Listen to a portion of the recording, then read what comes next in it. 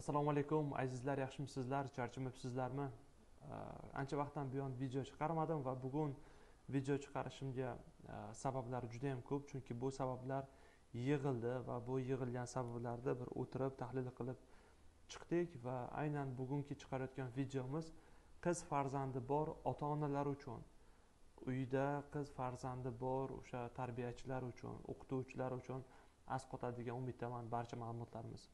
Э, aynan shu qizlar tarbiyasida juda ham ko'plab xatolarga yo'l qo'yayotgan ota onalar uchun bugungi videoni chiqarishga harakat qilamiz va harakat qildik. Va juda yam ko'plab xatoliklarni biz e, kuzatdim juda yam ko'plab xatoliklarni va shu xatoliklardan kelib chiqqan holatda aynan shu videoni olishga e, qaror qildim. E, yuqorida hozir sanab o'tayotgan xatolarimizni takrorlagan ota onalarni farzandlari bilan qizlari bilan muammolar bo'ladi. Bu qizlar kelajakda baxtsiz bo'lishlariga hatto ajrashishlariga turmush o'rtoqlari bilan kelishmovchiliklarga sabab bo'ladi. Bu qizlar ota onasi bilan o'rtada muammolar paydo bo'lishiga ota onasiga quloqsiz ya'ni quloq solmasliklariga sabab bo'luvchi muammolarni yozdim. Nima uchun qizlar hatto shunaqa holat bo'ladiki? Ko'pchilikda hozir e, bu ko'paymoqda. E, qiz bolalar o'z jinsidan e, misol uchun xohlamasligi misol uchun o'zini jinsini xohlamasligi o'zini qabul qilmasligi o'zidan norozi bo'lishi o'zidan e, ayb qidirishi yoki e, ma'lum bir vaqt o'tgandan keyin e, stresslarga tushishi depressiya depressiv holatlarda bo'lishi yoki o'z joniga qasd qilishga urinib ko'rish kabi muammolarning barchasini sabablarini aynan siz bilan ko'rib chiqamiz va bu xatolarni ko'pgina sabablarini siz xatolarni tushunganingizdan so'ng bu xatolarni tuzatsangizgina qiz bolalar tarbiyasida juda ham yaxshi natijalar bo'ladi degan umiddaman va bu o'zini samarasini oqlaydi. Demak xatolar. Qiz bola bilan tarbiya qilishda qiz bola bilan munosabatda qanaqa xatolarga yo'l qo'yiladi? Qanaqa xatolarga yo'l qo'yasiz? Birinchi xato aksariyat ota onalar qiz bolaga qo'l ko'tarishadi. Qiz bolaga qo'l ko'tarish bu eng qo'pol xatolardan bittasi. Chunki qiz bola ya'ni ayol kishi hissiyotga beriluvchan bo'ladi. Qo'l ko'tarilgan qiz qo'l ko'tarilganligini his qilganidan so'ng o'zini keraksizdek his qiladi va sizga bo'lgan munosabati yomonlashishni boshlaydi. Qaysidir ma'noda nafrat alam yoki boshqa bir yomon hissiyotlarni his qilishiga sababchi bo'ladi. Shuning uchun birinchi xato bu qo'l ko'tarish. Ikkinchisi shaxsiyatiga tegish qiz bolani. San unaqasan sani qo'lingdan kelmaydi. San eplolmaysan san hech narsani eplolmaysan san eplolmagansan degan ko'plab bir nima deyish mumkin qiz bolani shaxsiyatiga tegish orqali unda aynan o'zini shaxsiyatini keyinchalik qabul qilmaslik bo'ladi o'zidan o'zi qoniqmaslik hissini shakllantirishga sababchi bo'ladi va yana uni kimdir shaxsiyatiga teggan vaqtda o'zini qadrsizliklarini ya'ni o'ziga bo'lgan noto'g'ri munosabatni bemalol bir chidab yashash yashab o'tishga qiz bola majbur bo'ladi. Shuning uchun imkon darajasida bu xatoga yo'l qo'ymaslik kerak va ko'pchilik ota onalarda yana bir xato bo'ladiki qiz farzandini boshqa bilan taqqoslaydi. E, falonchini qiziga qara aqlli falonchini qiziga qara tarbiyali san unaqasan san bunaqasan degan ko'plab kamchiliklarni aytish ham qiz bolani e, ruhiy holatiga psixologik holatiga salbiy ta'sir qiladi. Keyingisi qiz bola haddan ortiq kuchli nazoratga olinadi. Tasavvur qiling sizda e, qanaqa holat bor? E, bir burgutni misol uchun oldingizda bir qafasga soldingiz bolaligidan o'stirdingiz ulg'aytirdingiz uni endi qafasdan tashqariga qo'yib yuborgan vaqtingizda u ma'lum bir yoshga yetgandan so'ng qariganidan so'ng qafasdan qafasdan tashqariga qo'yib yuborganingizda uni yashab qolish ehtimoli juda ham kam bo'ladi. Chunki u aynan shu qafasga o'rgangan bo'ladi. Qiz bolani juda ham qattiq juda ham kuchli nazoratga dikt olgan diktator otalar yoki o'sha onalar deymizmi juda ham qattiq nazoratga oladigan har doim uni cheklaydigan kuchli nazoratga oladigan ota onalarni farzandi kelajakda qo'rqoq qat'iyatsiz bo'lishadi.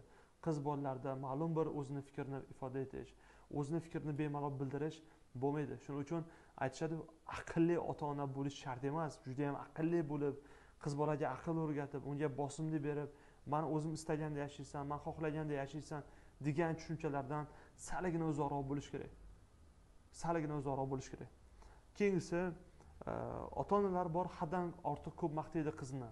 Quchog'iga olib o'tiradida bo'lari bo'lmas gaplarni gapirishi qiz bola hali bir biror bir o'sha qizi misol uchun e, ishda eplagani yo'qda yoki biror bir o'qishda o'qishlari yaxshi bo'lgani yo'qda Э, o'rinsiz maqtovlar bo'lishi mumkin o'rinsiz.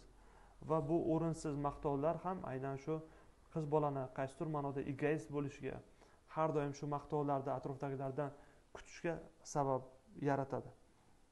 Keyin yana bitta narsa bola qiz bola aytadigan so'zlarni e, aytadigan gaplarni tagiga yetishga harakat qiling. Masalan qiz bola aytishi mumkin qiz farzandingiz o'qituvchim bugun mani urishdi o'qituvchim bugun menga ikki baho qo'ydi. Hech qanaqangi aybim yo'q edi o'qituvchi.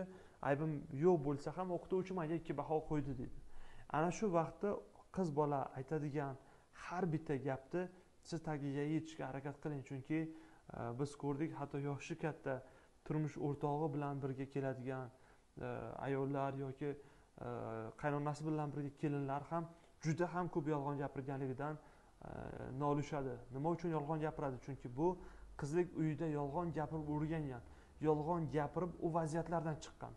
Yolg'on gapirib u e, o'sha odamlarni o'ziga bo'lgan munosabatini yaxshilashga sababchi bo'lgan. Shuning uchun qizingiz aytadigan har bitta aytadigan so'zni imkon darajasida siz e, qaysidir ma'noda tagiga yetishga harakat qiling.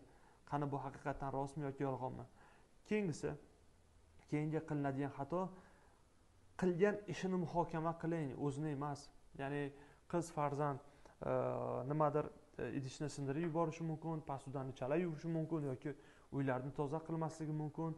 Hammani oldida qiz bolani izza qilishdan ehtiyot bo'ling chunki bu uni e, psixikasiga juda ham yomon ta'sir qiladi. Aytadiki ota ona misol uchun mana bitta pastani yuvishdan ham eplolmaysan qo'lingdan biror bir ish kelmaydi san unaqa san bunaqa degan gaplarni qo'ying. Muhokama qilmoqchi bo'lsangiz yomon hissiyotini ko'rsatmoqchi bo'lsangiz uni o'ziga emas qilgan ishlariga e'tiborni qarating. Qizim san o'zing juda aqlli qizsan siz o'zingiz juda ham tarbiyali qizsiz yoki bo'lmasa.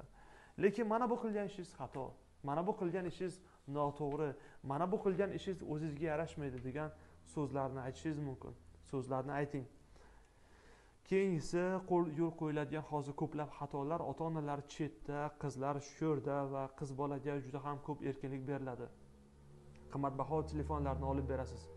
Bu bilan unga siz mehrni e, ko'rsatmayapsiz. Aksincha bu bilan siz uni o'ziga bo'lgan egoizmni o'ziga bo'lgan e, salbiy munosabatni yoki o'ziga bo'lgan haddan ortiq e'tibor talablikni oshishiga sababchi bo'lasiz. Undan tashqari u telefonlarni u telefonda o'tirgan vaqtida siz bilasiz hozir e, qiz bolani miyasiga zaharlaydigan juda ham ko'plab omillar bor juda ham ko'plab programmalar bor juda ham ko'plab yomon salbiy uni psixikasiga ta'sir etuvchi programmalar bor va u programmalarni ko'rgan vaqtda qiz bola ichishni qiz bola chekishni yoki yana bir boshqa yo'lda yurishga harakat qilib ko'radi. Buni sababi nimada? Qo'l telefonlarda. Shuni ham Э, qo'l telefonni imkon darajasida bermaslikka harakat qiling foydalanmaslikka harakat qiling. Agar juda ham kerak bo'layotgan bo'lsa buni nazorat ostida siz bajarishingiz mumkin bo'ladi. Shuning uchun e, buni nazoratga olishingiz kerak. Albatta nazoratni oshirmagan holatda unga ishonch bergan holatda. Keyingisi qiz bolani har qanday istagini birdaniga qondirmang. Chunki qiz bola har qanday istagi birdaniga qondirildimi u turmushga chiqqan vaqtda unda haqiqiy muammolar bo'ladi. Ehtimol shu e, turmush o'rtog'i uni ehtiyojlarini qondirishga hali qurbi yetmas hali mablag'i bo'lmasligi mumkin. Qiz bola buni talab qiladi chunki u o'rgangan o'rgangan ko'ngil o'rtansa qo'ymas. Yoki aytishadiku quyosh uyasida ko'rganini qiladi. U uyasida o'zi istagan hamma narsani olib kelardi ammo turmushga chiqdi turmush o'rtog'ini qo'li kalta imkoniyati yo'q yoki u hali endi ishini boshlagan u hali endi ishga kirgan imkoniyati bo'lmaganligi uchun ham bu imkoniyatni qondirolmaganidan so'ng o'rtada muammolar kelib chiqadi. Shuning uchun siz biling qiz bolani og'zidan chiqqan hamma narsasini birdaniga muhayyo qilmang.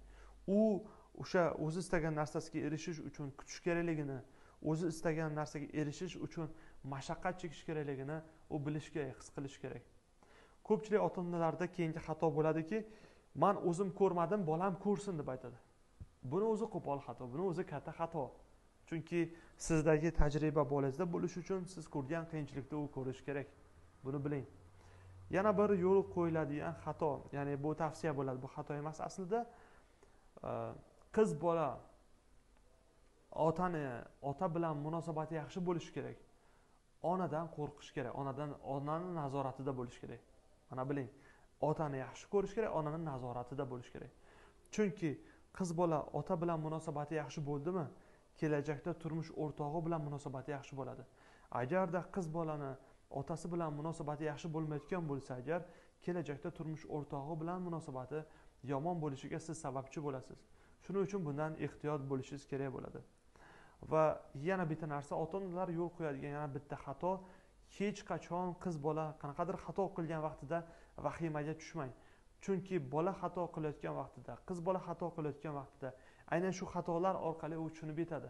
Aynan shu xatolar orqali u biladi bu ish noto'g'ri ekanligini biladi.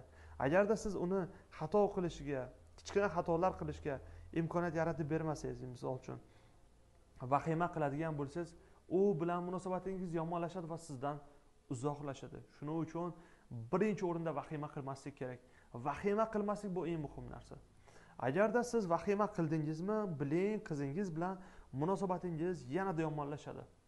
Yanada yomonlashadi. Keyin yana bitta narsa e, yana bitta xato shunda bo'ladiki qiz bolani hammani oldida kamchiliklarni aytmang.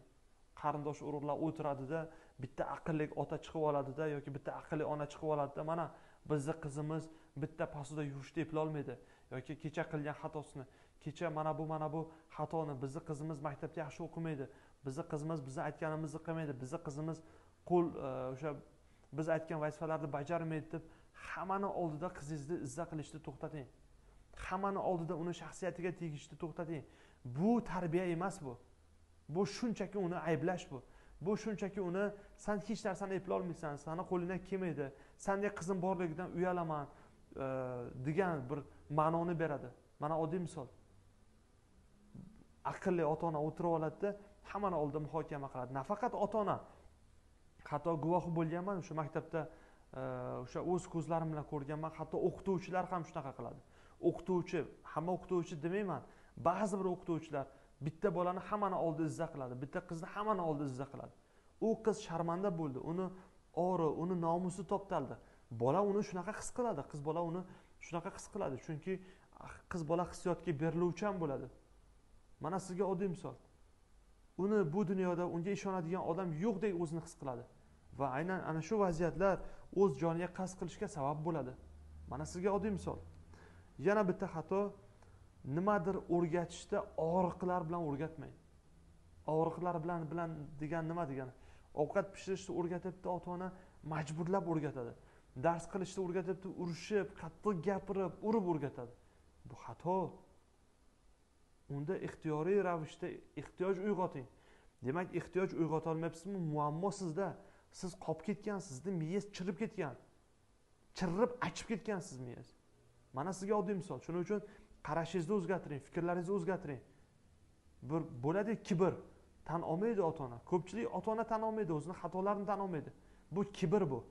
Sizda kibr bormi? Demak avval kibringizni jilovlang. Avval o'zingizni qo'lga oling. Qanaqa travma bilan keladi qizlar?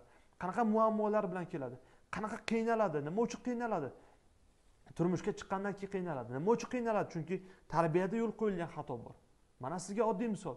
Tarbiyada xatoliklarga yo'l qo'yildimi? Qiz bola turmushga chiqqandan keyin e, qiynaladi. Travmasi bormi bolaligida? Turmushga chiqqandan keyin qiynaladi. U kechira olmaydi.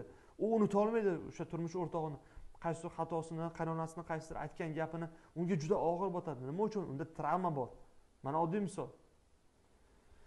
Keyingisi siz o'zingiz unga tarbiyaviy soat o'tishdan oldin unga namuna bo'ling. Ota ona aytadi kitob ko'p o'qi kitob o'qishing kerak dars qilishing kerak mana bu to'garaklarga borishing kerak deb aytadida o'zini qo'lidan telefon tushmaydi. Lekin kitob o'qish haqida nasihat aytadi. Qizim danjasa qizim danjasa qizim danjasa deb aytadida onalar e, o'zi e, namuna bo'lolmaydi. Mana sizga oddiy misol. Qizim tarbiyasiz qizim tarbiyasiz deydida avval o'zing tarbiyalimisan avval shunga qara. Shuning uchun eng asosiy xatolardan bittasi shundaki tarbiya aytiladi lekin namuna bo'linmaydi. Namuna bo'ling. Namuna bo'ling. Namuna bo'lish uchun siz avval ko'rsatib bera oling. Siz avval o'zingizni tuzating. Turmush o'rtog'ingiz bilan bo'layotgan munosabatingizga qarang. Unga bo'lgan munosabatingiz qanaqa? Keyin yana bir yo'l qo'yiladigan xatolardan biri e, qiz bola bo'yanadida. O'ziga qaraydi bo'yanadi. Shunda ota ona vahima qiladi otalar vahima qiladi. E bu turishda bu nima bo'ladi? Bu buzuq bo'ladi bu turishda bu nima bo'ladi? Halitdan bo'yanyapti biling bu qiziqish bu. Buni vahima qilish kerak emas u bo'yansin. Labiga sursin yuzlariga surib tashlasin bo'yansin. Uni to'g'ri o'tirib tushuntirish mumkin. Uni to'g'ri o'tirib nima deyish mumkin ko'rsatib berish mumkin masalan shunaqa holat bo'ldi man qizim klubga bordi man klubga borgani uchun ota maqtanib aytibdi oyog'ini urib sindirdim deydi. San jinnimisan nima siz kallangiz joyida emasmi sizni bu bu normal holat hozirgi bolalarda u sizni vaqtingizda norma bo'lmagan norma nima degani bu man borib buni qarsak cholib turib klubga olib borib qo'ying demoqchi emasman qo'lidan ushlangda boring birga klubga o'tkazing. Sizdan yashirincha boryaptimi? Demak sizdan munosabat yaxshi emas. Sizga yolg'on gapiryaptimi? Munosabat yaxshi emas. Aybni o'zingizdan qidiring u klubga boryapti muammo qizingizda emas muammo sizda. Boring o'tkazing klubga. Mana qizim ko'r. Shunaqa joylarga kelish sizga yarashadimi? Siz o'zingizni shunaqa qizlar orasida o'tirishga loyiq deb bilasizmi degan so'zlarni ishlating. Mana sizga oddiy misol. Mana bu tarbiya bo'ladi. Boring o'sha yomon joyda u ko'rsin u his qilsin. Agarda siz bilan munosabati yomon bo'layotgan bo'lsa uni fikri u yomon joyda u ko'rmaydi. Uni fikri faqat siz bilan munosabatda bo'ladi. Mana bitta holat. Yana bitta narsa. Qizingizni sizdan boshqa hech kim bilmaydi. Buni biling. O'qituvchi yomon deyotgan bo'lsa qizni eshitmasdan turib kaltaklashi mumkin onalar. Qizni ayblashi mumkin urishishi mumkin qattiq gapirishi mumkin. Yo'q sizdan boshqa qizingizni hech kim yaxshi bilmaydi. Odamlar nima ko'rgisi kelsa shu narsani ko'radi. Mana buni biling. Lekin uni yolg'onlarni tagiga yeting. Yolg'on gapiryapti uni tagiga yeting. Masalan oddiy misol sizga. Keyingisi yana bitta xato. Xato qilsa birdaniga cheklamang. Xato qilsa birdaniga urishmang avval uni tinchlantiring. Avval u tinchlansin. Avval o'ziga kelsin. Savol bering. Vaziyatni o'rganing. Vaziyatni o'rganing. Keyin yondashing. Keyin munosabatda bo'ling. Yana bitta xato tashqi ko'rinishini muhokama qilmaslik kerak. E san o'g'il bolaga o'xshaysan san unaqasan san bunaqasan san bunaqasan. Degan gaplarni umuman gapirish kerak emas. И haddan ortiq avaylamang. Biror bir ish qilayotgan vaqtda yo kerak emas o'zim pishiraman kerak emas o'zim bajaraman kerak emas sani qo'lingdan kelmaydi yoki san unday bo'lasan san bunday bo'lasan kuyib qolishing mumkin degan gaplarni yig'ishtiring. Bu gaplar kerak emas. Shunchaki unga yordam bering. Va yana bitta eng yomon ta'sirlardan bittasi shundaki nosog'lom psixologik muhit. Uyda har kuni janjal. Er ayolini yer bilan bir qiladi oyoq osti qiladi urishadi uradi so'kadi. Yoki ayol ham er bilan it mushuk bo'lishi. Bolani oldida ayniqsa qiz bolani oldida hech qachon yomon munosabatlaringizni ko'rsatmang. Bir biringizga bo'lgan salbiy munosabatlaringizni ko'rsatmang. Buni o'zi juda katta va qo'pol xatolardan biri bo'ladi. Va yana bitta qo'pol xatoni biz kuzatdik. Hech qachon bir biringizni yomonlamang. Agarda qiz bola qiz bolani onasi qiziga otasini yomon deb aytayotgan bo'lsa u turmushga chiqqanidan keyin turmush o'rtog'idan xatolar izlashni boshlaydi. Agarda qiz bolani otasi onasini qiziga yomonlayotgan bo'lsa u turmushga chiqqanidan keyin atrofda kamchilik qidirishni boshlaydi munosabatlarda kamchilik qidirishni boshlaydi qaynonasidan kamchilik qidirishni boshlaydi mana oddiy misol. Qiz bola uchun ota yomonmi? U turmushga chiqqanidan keyin turmush o'rtog'ini xatolarini kechira olmaydi. Mana sizga oddiy misol. Shuning uchun e, urushdingizmi ura ur qilyapsizmi? Bir biringizni yomonlamang. Turmush o'rtog'ingizni hech qachon yomonlamang. Aslida aksincha yaxshi tomonlarini ko'rsating. Mayli sizda qancha gapirsin. Mayli sizda qancha yomon desin. Lekin siz hech qachon qiz farzandingizga turmush o'rtog'ingiz yomon deyishingiz kerak emas. Va eng muhimi otani kuchli qilib ko'rsating qizingizga. Otani figurasini ko'taring. Siz savol berasiz. Firdavs mani erimni xudo urgan uni e, bo'lmaydi u deb aytasiz. Shunda bir narsani aytaman. Hatto uni bitta kuchli sifatini olingda shuni ko'rsating. Qizim xursand bo'l bolam xudoga shukurda sani otang bizni yaxshi ko'radi sani yaxshi ko'radi. Mayli shuni o'zi yetadi mana oddiy misol. Bunaqa muhabbatni bunaqa yaxshi ko'rishni hech qayerdan topolmaysan de. Va bu vaziyatda qizingiz bilsin va his qilsin. Va yana bitta narsa qiz bolaning faolligini hurmat qiling va birdaniga uni cheklamang. U sho'x bo'lishi mumkin quloqsiz bo'lishi mumkin u biror bir faoliyatga Э, faollik bilan kirishishi mumkin birdaniga tanqid qilmang. Chunki har qanday yo'l qo'yilgan tanqidlar qiz bolani o'ziga bo'lgan ishonchini tushishiga sababchi bo'ladi. Mana bu narsa. Demak barcha bu tarbiya uslubi qayerdan keldi? Sizni chirib ketgan fikrlashingizdan bo'ldi. Mana bu xatolarga yo'l qo'yyapsizmisiz demak sizga ham xuddi shu xatolar bilan sizni tarbiya qilishgan sizni o'stirishgan. Biling bu yuqorida sanab o'tgan xatolarimiz sizni faqatgina qizingiz bilan bo'layotgan munosabatni yaxshilanishiga xizmat qiladi. Misol uchun e, bir e, nima desam bo'ladi bu yerda uzoq vaqt mana shu e, qisqa vaqtli video ichida uzoq vaqtli tayyorgarlik ko'rilgan. Buni biling. Va bilingki har bitta aytadigan so'zingiz har bitta qiladigan munosabatingiz qizingizni miyasida qizingizni qonida muhrlanishni boshlaydi.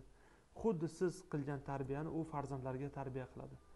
Shuning uchun siz ota onangizdan olgan tarbiyani avloddan avlodga meros bo'lib kelayotgan tarbiya uslubini siz o'zgartiring. Siz yangilik qiling siz o'zgartiring ana o'shanda natija yaxshi bo'ladi.